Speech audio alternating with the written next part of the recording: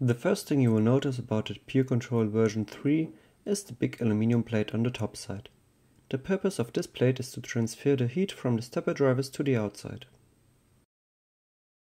You might know that the silent step-stick drivers are used inside the controller.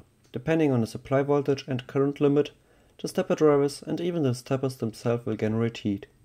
This behavior is totally normal for such components. To keep the temperature as low as possible, the stepper drivers are set to a current limit of 0.6 amps. With the standard supply voltage of 12 volts, the drivers and stepper motors will keep cool and only warm up a little bit. But in some cases and applications, you might want to use a higher supply voltage or maybe a higher stepper current. In those cases, the drivers and stepper motors will heat up very quickly.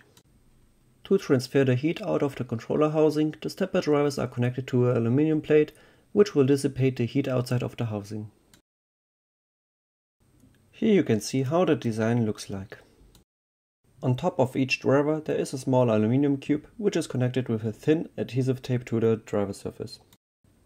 On top of the aluminum cube there is a flexible thermal pad.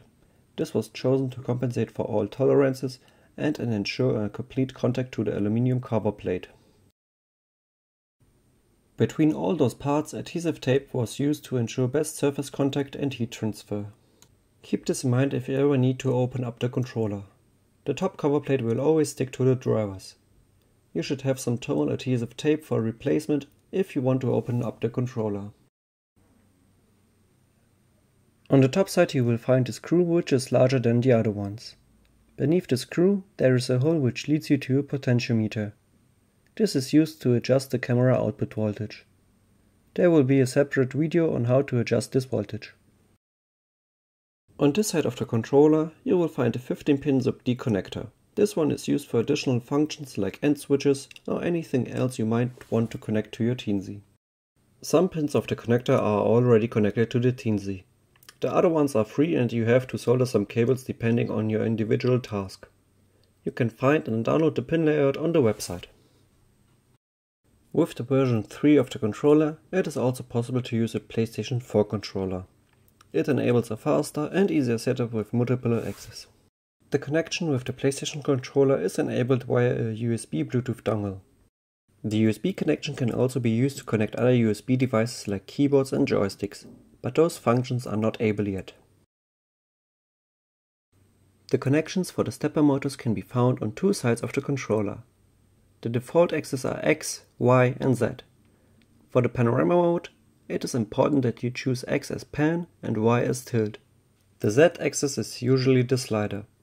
The configuration of the other axes is not defined and can be chosen depending on your choice. One important warning at this point. Never plug in or remove a stepper cable while the controller is connected to a power supply. This might damage the stepper drivers and other components of the controller. On this side you will find the most items. On the upper right corner there is the micro USB connector of the Teensy 3.6. This one is used if you need to make a firmware update or want to connect the controller to your computer. In the lower right corner there is a red push button. If the app stops working or if the movement must be cancelled, you can always stop the stepper motion by pressing this button. This will also disable the stepper power and reset the Teensy. After you have pressed this button, you will need to restart the Android app completely to continue working. The controller offers two different modes for triggering. You can set up the controller to do the interval and trigger your camera. This is the standard mode which is used for most applications. But you also can connect the external push button and trigger manually. This is recommended for stop motion shooting, where you don't have a fixed interval and have to trigger manually. You can also connect your camera via a hot shoe adapter to this input. When you now trigger your camera with the camera shutter button, the controller will notice this and do the motion according to your settings. This feature is described in a different video in detail. As mentioned, for most applications, you want that the controller triggers your camera automatically. In this case, connect the shutter release cable to this 2.5mm stereo audio jack. Most remote triggers use the same cables, so suitable shutter release cables are available for most cameras.